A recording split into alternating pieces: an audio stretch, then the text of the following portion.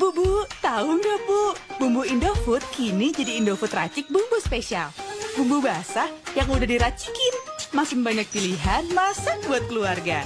Indofood Racik Bumbu Spesial. Sespesial racikan sendiri.